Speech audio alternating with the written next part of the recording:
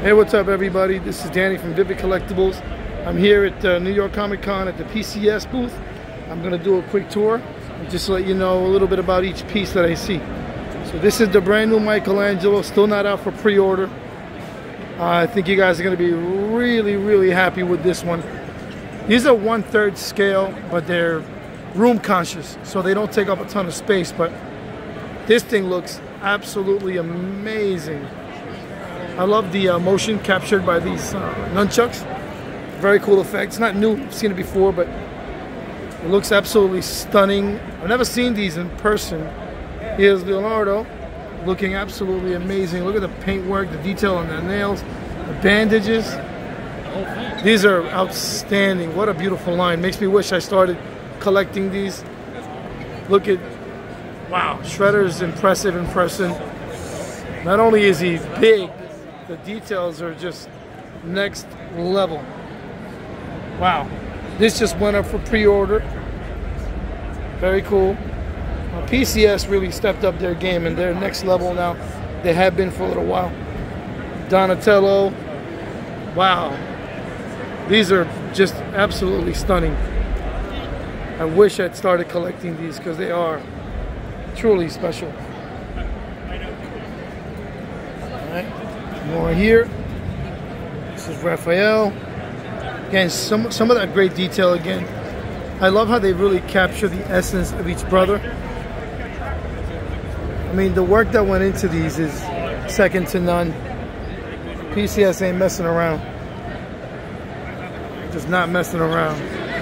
All right, we have some of the game stuff here. Very cool from Killer Instinct. This is the Sabrewulf, the white version. These are quarter scale pieces. Highly detailed, beautiful statues. We got Psycho, quarter scale piece. These are much better in person than I thought. He looks great, maybe a little bit on the dark side, but the details are there and the actor likeness is there as well. Ghostface, been out for a little while, quarter scale piece. Really nice blood effect. I like the different masks that go on the base. This is mixed media, looking really, really good. Wow, PCS doing work. Wow, this is the one-third version of Pro.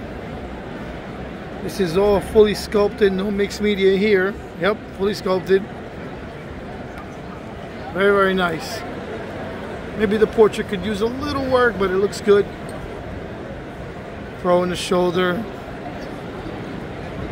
Very nice. Like the window, paint in the backdrop. Very, very cool. We go around. We got Fulgore from Killer Instinct. Pretty cool. Very nicely done. All right, excuse the commotion. This is the uh, brand new reveal. Transformers Optimus Prime Museum Scale. Holy cow. This thing is crazy. Look at the paintwork on this too. Not only are the details there, the paint's outstanding. Holy cow, Jetpack Optimus Prime. This thing is monster. Really, really cool. Yeah, PCS ain't messing around. They brought out the big guns. This thing is outstanding. Let me pan around it. See some of the uh, smaller, like cell shaded transformers. We'll go around the back. Wow, look at the jetpacks. See uh, just a level of detail and craftsmanship that went into this is really uh, amazing. Wow. There's more to look at here. So we have the quarter scale Lady Death. So this is the deluxe version that comes with the throne and all these little dragons. This looks really good in person. I've seen pictures of it. It wasn't really for me, but seeing it in person, as usual, is a very different thing. And it does have a lot of great detail. Very, very nice. And the half scale Michael Myers It does look awesome in person. This is crazy, right? I was uh, having reservations getting that, but now I see it. Now you want to make a reservation. Yeah, I want it. yeah, this thing is crazy. Good, right? Yeah, the pumpkins on the base look really good. The mixed media looks really good. The knife looks good. Wow, it's enormous. It looks amazing. And we've seen this before, the one-third Wolverine from the Gamerverse. Looks really good. Very big for Wolverine. Obviously, it's one-third. Raging Portrait looks really good. The claws look good. Yeah, very nice piece. Been out for a little while, but it looks good. And my first time seeing this blade in person. One third scale blade fighting these demons. This thing is crazy good. Great details. Wow. These creatures, the details unbelievable. The eyes are great. And Blade himself, it's great action pose. Yeah, the, the details on this are next level. I mean, PCS is doing some really amazing work. This year, Wesley Snipe look-alike looks really good. Skin tones are there. Details, action pose. Yeah, they're not playing around. They're not playing around. Great job by PCS. And this is their Star Wars Darth Maul one third light up base. That's so cool. Tells a story.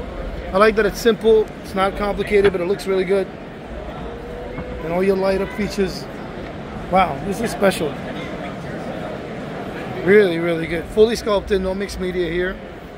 Looks like the saber lights up, the dual saber. Very nice. Really great portrait as well. And then I believe this is the uh, swap out. And wow, this looks really, really good. If you have this on order, you're going to be very, very happy. just a back of this blade. Look at the coat, very leather-like texture. Absolutely amazing. All right, I'm going to show you something special project they're working on. These are highly limited pieces. It looks like they're wall-mounted. I don't know much about these. I just know they're individually sculpted, and I think they're only making 50 worldwide. And they come as a set. I don't know the details of it yet, but this is going to be. This is like something you wouldn't see anybody else doing. It's very unique. Really, really well done. Absolutely amazing. Yeah, it's crazy good. Anyways, that was a quick tour of the uh, PCS tour here in New York City Comic Con. I'm Danny from Vivid Collectibles. I hope you enjoyed the quick tour. And if you have any of these or any of these on order, I guarantee you, you're not going to be disappointed. Thank you.